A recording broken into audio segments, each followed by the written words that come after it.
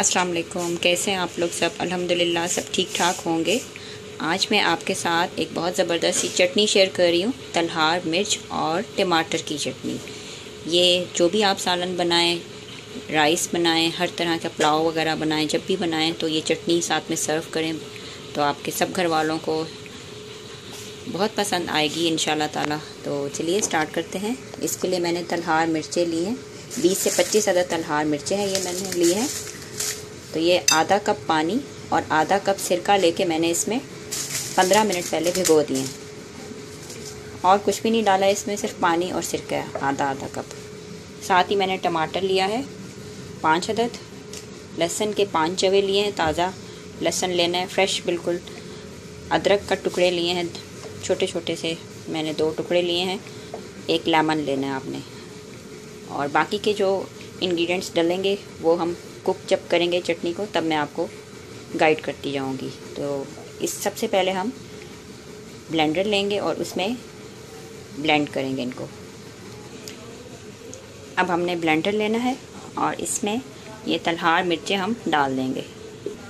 उसी पानी और सिरके के साथ हमने डाल दिया है। साथ ही आप टमाटर और लहसुन, अदरक मैंने काट लिया है, ये भी ऐड कर देंगे। बिस्मिल्लाहिर्रहमानिर्रहीम आप डाल दें। साथ ही लेमन जूस भी आप डाल दें। स्क्वीज़ कर लिया मैंने। अब इनको आप ब्लेंड कर लें। इन तमाम चीज़ों को अच्छे तरीके से आप ब्लेंड कर लें। अब ये देखिए, अच्छे तरीके से मैंने ब्लेंड कर लिया है। अब मैं निकाल लूँगी इस पेस्ट को। एक पैन लेंगे, उसमें थोड़ा सा ऑयल डालेंगे ताकि हमारी चटनी ख़राब ना हो। उसके बाद ये तमाम पेस्ट डाल देंगे इसी में। ये तमाम पेस्ट जो हमने बनाया है मिर्चों का और टमाटर का, ये डाल देंगे। अब हम इसमें नमक डाल देंगे अपने टेस्ट के मुताबिक। आधा चाय का चम्मच मैं डाल रही हूँ। ज़ीरा लेंगे एक चाय का चम्मच। ये चटनी ज़रूर आप ट्राई करिएगा। तलहार मिर्च और टमाटर की चटनी बहुत ज़बरदस्त लगती है। किसी भी खाने के साथ आप इसको एंजॉय कर सकते हैं। बस आपने इसको हल्की आँच पे 15 टू 20 मिनट्स कुक करना है। अब हम तलहार, मिर्च और टमाटर की चटनी जो हमने ग्राइंड की थी, उसको हम कुक करें।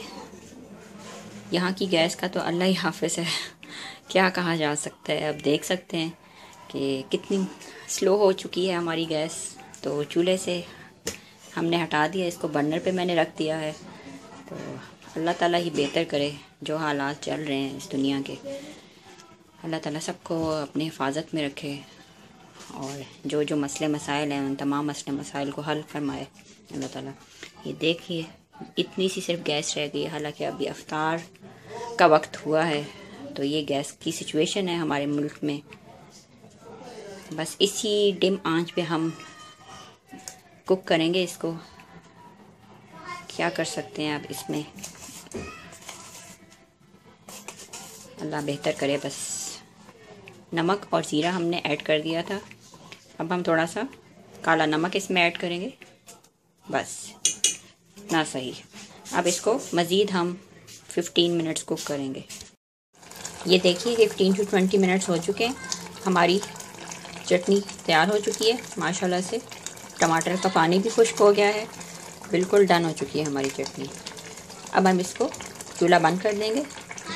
चूल्हा बंद करके आप इसको ठंडा करके किसी जार में सेव कर लें और फ्रिज में रख दें जार में डाल के और जब भी कुछ भी खाने की मज़ेदार सी चीज़ हो, चावल हो, पुलाव हो, दाल हो, सब्ज़ी हो, कुछ भी आपके घर मज़ेदार सा पका हो, उसके साथ ही मज़ेदार सी चटनी आप ज़रूर ट्राई करिएगा। लीजिए हमारी तलहार मिर्च और टमाटर की चटनी रेडी हो गई है। माशाल्लाह से ये देखिए, ठंडी हो गई थी। मैंने एक जार में इसको डाल लिया है। अब इसको कवर करके आप फ्रिज में आराम से रख सकते हैं। महीना आपका इन ताला बिल्कुल भी ये ख़राब नहीं होगी क्योंकि हमने इसको कुक किया हुआ है। हाफ़ एन आवर तक ये कुक होती रही है। पानी भी इसका, टमाटर का अच्छी तरह से खुश्क हो गया था। तो ये बहुत ज़बरदस्त सी चटनी हमारी तैयार हो गई आप देख सकते हैं। आप ज़रूर ट्राई करिएगा। मिलते हैं नेक्स्ट वीडियो में। तब तक के लिए अपना ढेर सारा ख्याल रखिएगा। अल्लाह हाफिज़।